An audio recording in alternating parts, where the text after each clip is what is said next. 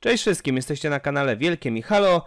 Dziś opowiem wam o tym, co przeczytałem jakiś czas temu. A będzie to jeden z komiksów Halo. Ogólnie widzę, jestem bardzo zadowolony, że ta, o, ta cała otoczka literacka wokół Halo się rozwija. Mamy cały czas serie komiksowe.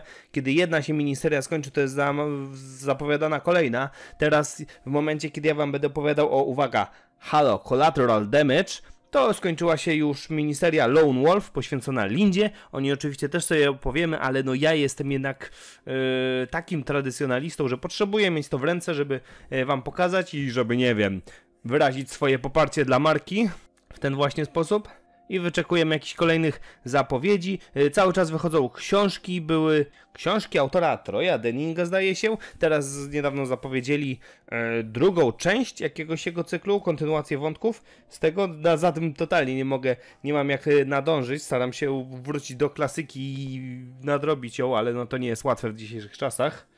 A także wiem, że jakaś autorka chyba pisze cykl Young Adult, czyli no młodzi dorośli, wiecie, to stwierdzenie, które nie znaczy nic, ale mm, w dużym uproszczeniu oznacza fanów zmierzchu i igrzysk śmierci, coś w tym stylu.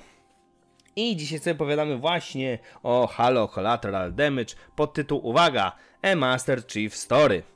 Więc jest to opowieść z tej właśnie serii, znaczy ja ją na, nazywam nieoficjalnie serią, to jest taki dopisek, który jest trochę następstwem porażki Halo 5 i takim sprzątaniem syfu zostawionego przez tamtą grę, no bo wszyscy wiadomo bulwersowali się na najbardziej taki najbardziej powierzchowny problem tamtej gry, problem Guardiansów, w którym była oczywiście mała ilość Master Chiefa w Halo.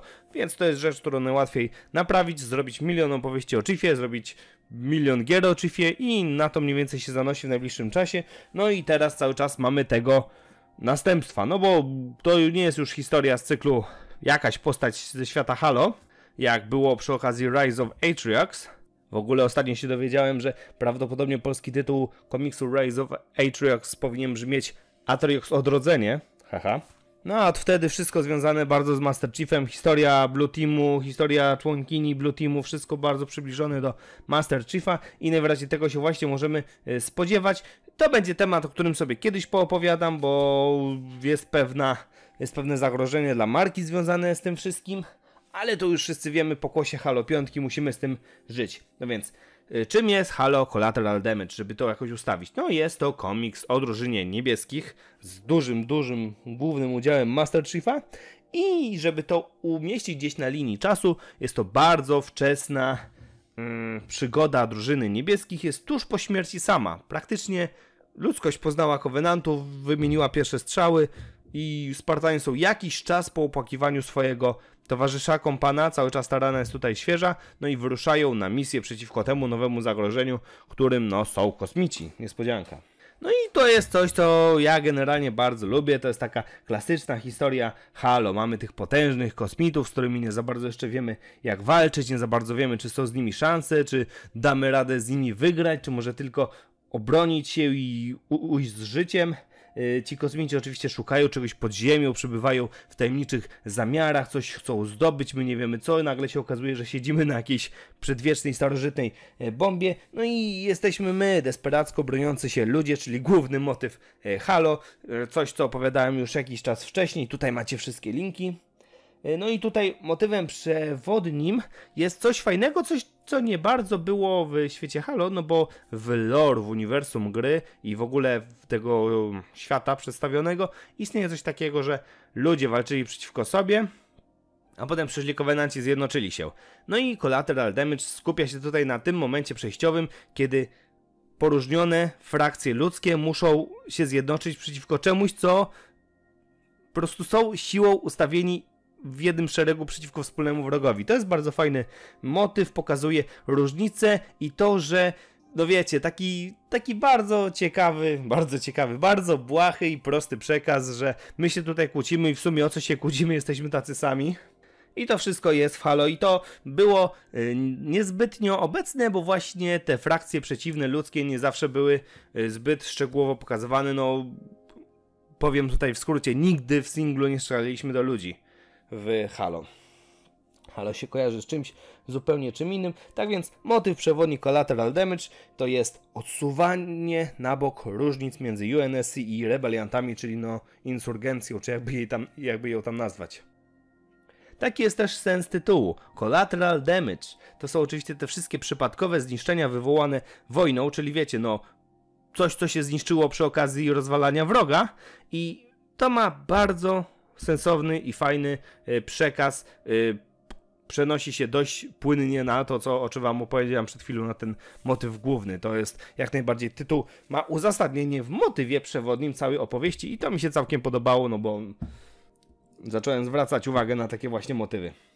Bardzo w duchu Halo jest taki gorzki koniec całości i wiecie, to jest historia, że poznaliśmy wroga i tutaj nie możemy się za bardzo z nim jeszcze e, zmierzyć, oczywiście będziemy z nim walczyć, ale nie ma mowy o jakiejś wygranej, no i ten cały tytuł, przypadkowe zniszczenia, odnosi się do no, czegoś, co po czym może nam być bardzo smutno po całej historii, czy możemy być e, wścieknięci, ale myślę, że tym bardziej wspomniany wcześniej przekaz zostanie nam dłużej na głowie i możemy się chwileczkę zadumać na tym komiksem.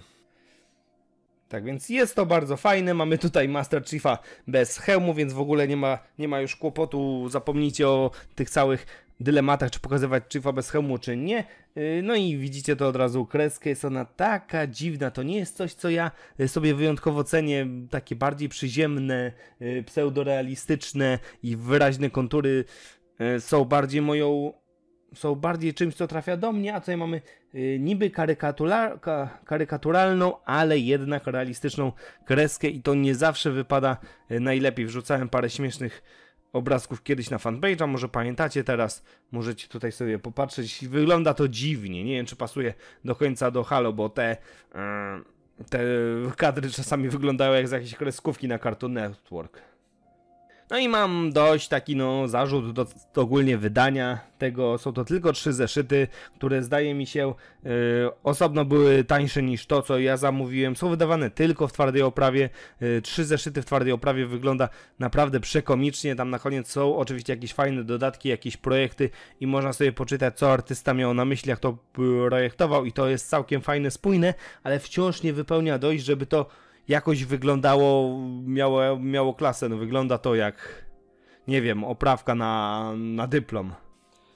I dziwne bardzo, że no sumarycznie kosztuje, przez tą grubą oprawę właśnie kosztuje więcej niż osobno i nie wiem, może taka polityka Dark Horse'a, no bo Atrioxa też tylko w takiej formie dorwałem i inne rzeczy, które poluję też na razie widzę tylko twarde, więc będę miał Halo w twardej oprawie obok, obok wszystkich tych tanich komiksów robionych yy, niskimi nakładami, żeby tylko opchnąć treść jak najwięcej, a nie sprzedawać trzy zeszyty jako jakąś kolekcjonerską wartość, która ma być ozdobą kolekcji. Więc to jest taki dziwny na koniec. Ogólnie Collateral Damage bardzo polecam. Yy, dla świata Halo y, bardzo spoko. Dla fanów świata Halo bardzo spoko. Tylko no bardzo, bardzo polecam. Najlepiej, no w Polsce tego nie ma, więc jeżeli nie, jeżeli nie chcecie się trudzić w ogóle z zamawianiem tego, no to jakiś jakiś sklep z cyfrowymi komiksami. Ja to pierwotnie w momencie wydawania przeczytałem na Comixology, więc tam sobie można to wszystko ogarnąć. Często są jakieś promocje, więc byście musieli się zainteresować w ogóle rynkiem, żeby to trafić taniej, ale jak mówię, no trzy zeszyciki są osobno tańsze, no i w pakiecie też, też wychodzi taniej, więc w ogóle to jest najlepsza opcja niż wprowadzanie do Polski trzyzeszytowego albumu w twardej oprawie. Yy, to by było na tyle. Widzimy się przy kolejnych filmach. Dziękuję Wam za uwagę. Dajcie znać, czy czytacie jakieś rzeczy yy, komiksowe, bo ogólnie mam wrażenie, że jeżeli podejmuję jakieś tematy komiksowe, no wiecie, komiks łatwiej przeczytać niż książkę i łatwiej wrzucić jakieś wrażenia szybkie na yy, fanpage'a niż robić film i zwykle te wszystkie moje odzewy odnośnie literatury nie cieszą się zbyt wielkim y, odezwem, y, więc dajcie w ogóle znać, czy interesujecie się komiksami z serii Halo. Tak więc, dzięki za uwagę, cześć.